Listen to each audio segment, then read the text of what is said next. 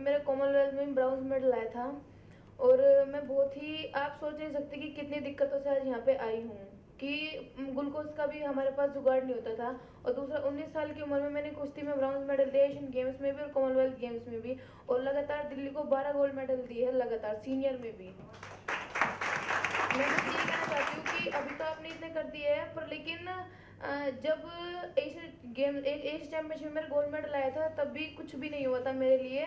और दूसरा, जिस प्रतिशत में यहाँ पे, आज यहाँ पे आई हूँ तो बहुत मुश्किल है। आज तो आप कर रहे हो, पर लेकिन जो गरीब बच्चे आप उनके लिए भी कुछ सोचे। आज तो आपने सबको हमें यहाँ पे इकट्ठा किया, आपने हमें कंग्रेचुलेशन बोला है। पर लेकिन जिस वक्त हमें ज़्यादा ज़रूरत रहती है ना, उस टाइम पर हमारी सहायता कोई भी नहीं करता है क्योंकि आज तो मैं यहाँ पे बढ़ गई आज आप कम कर दीजिए हमारे लिए। पर लेकिन जिस टाइम पे ज़्यादा ज़रूरत रहती है ना, अगर उस टाइम पे हमें मिले ना तो हम अपना हंड्रेड परसेंट हम गोल्ड भी दे सकते थे, अगर हमारे साथ सपोर्ट रहती तो। तो आप आगे सोचो, दूसरा मेरे कोच ने हमारे लिए इतना किया है कि मैं बहुत लक्की गर्ल हूँ, उन्होंने अपनी जॉब छोड़ के मेरे को अखाड़े में पहलवानी कराई है। बादाम का जुगाड़ नहीं था मेरे गुरुजी ने मेरे लिए बादाम देते रहे जब तक तो वो थे। पर लेकिन अब क्या है कॉमनवेल्थ से मेडल आई हूँ ठीक है आपने बुलाया था आपने कहा हेल्प करेंगे। मैंने आपसे कहा था कि एशियन गेम्स के लिए मेरे को तैयारी के लिए कुछ चाहिए, पर लेकिन सर उसके लिए नहीं हो पाया। आपने कहा कि हाँ आप बताइए। मैंने लिख के दिया, पर लेकिन फिर उसके बाद में मेरा फ़ोन भी नहीं उठाया गया। दूसरा सर, हम बेशक गरीब है, पर लेकिन हमारे मन में करने की इतनी ज्वाला है कि आप नहीं सोच सकते कि हम पानी में भी पहलवानी कर रही हूँ मैं आज। तो अगर आप थोड़ी सपोर्ट करेंगे तो ज़्यादा अच्छा रहेगा। और इससे ज़्यादा मैं कुछ नहीं बोलना चाहती। मैं आज यहाँ पे पहुँच गई हूँ, आज सब सपोर्ट कर रहे हैं, पर लेकिन जिस टाइम मुझे ज़्यादा ज़रूरत थी ना, उस टाइम पे किसी ने सपोर्ट नहीं किया। तो और बच्चे निकल के आ रहे हैं, आप उनके लिए सोचिए, मैं तो आज यहाँ तक आगे भगवान ने पूरा साथ दिया, गुरु का आशीर्वाद था, माँ बाप की सपोर्ट थी।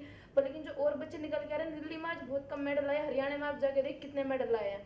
क्योंकि उनके साथ सपोर्ट है, तीन करोड़ तीन करोड़ बहुत होते हैं सर पर लेकिन यहाँ पे एक करोड़ अब हुए हैं, नहीं तो बीस लाख कुछ भी नहीं होते सर, बीस लाख जिस मेहनत से निकल के आए हैं। हरियाणा में ये नहीं कहते, सब ये कहते हैं कि दूध है, घी है, ये है, वहाँ पे कुछ नहीं है। करने में जो वाला हमें भी है, हमारे पास भी घी दूध है, पर लेकिन सपोर्ट नहीं है। वहाँ पे ये नहीं कि हरियाणा के बच्चे इसलिए आगे बढ़े क्योंकि वहाँ घी दूध का खाना है, खाना यहाँ पे भी है, पर यहाँ पे सपोर्ट नहीं है। तो वो आप सोचिए कि अगली बार एशियन गेम्स में दिल्ली के सबसे ज़्यादा मेडल आए और गोल्ड आए।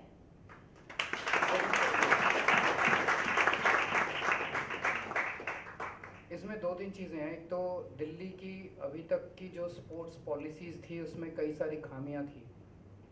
जब से हमारी सरकार बनी हमने उसको सुधारने के काफ़ी प्रयत्न किए।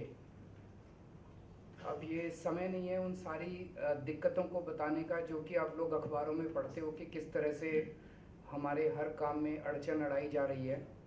सो so, आपकी बात बिल्कुल सही है। आप केवल आप नहीं कई सारे और प्लेयर्स हमारे पास आते थे। और हमें बताते थे कि उन लोगों को कई तरह की दिक्कतें आ रही हैं। लेकिन जितनी भी अभी तक हम लोगों ने पॉलिसीज़ ड्राफ्ट की, वो सारी पॉलिसीज़ ऊपर जाके उनको किसी न किसी वजह से रोक दिया गया। ये जो हम कर कर पा रहे हैं, आज जो हमने अनाउंस किया है, ये इसलिए कर पा रहे हैं क्योंकि अब सुप्रीम कोर्ट का जजमेंट आया है। और सुप्रीम कोर्ट का जजमेंट ये कहता है कि अब दिल्ली की चुनी हुई सरकार के डिसीज़न फाइनल हैं और ये डिसीज़न किसी के पास नहीं जाएँगे। इसलिए 28 अगस्त की कैबिनेट मीटिंग में हम ये आपके लिए कर पाए। अगर ये सुप्रीम कोर्ट का निर्णय नहीं आया होता तो शायद आज ये अनाउंसमेंट भी मैं नहीं कर पाता। मैं आप लोगों को ये आश्वासन देना चाहता हूँ कि अभी दो पॉलिसीज़ और बनाई हैं हम लोगों ने साथ साथ वो भी आ, पास हो गई हैं और उसमें बहुत जल्दी।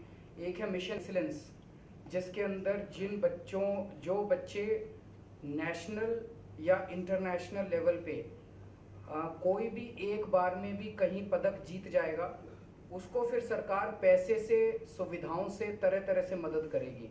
उसकी भी पॉलिसी बन गई अब किसी को किसी की दया दृष्टि पे निर्भर रहने की ज़रूरत नहीं है।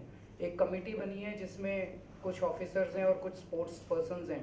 वो कमेटी तय करेगी अप्लाई करो और उसमें कमेटी तय करेगी और उसमें कोई लिमिट नहीं रखेंगे हम लोग कि भाई इतने ही प्लेयर लेंगे। जिसके अंदर भी जो भी प्रतिभा नज़र आएगी उसको वो सुविधा मिलेगी।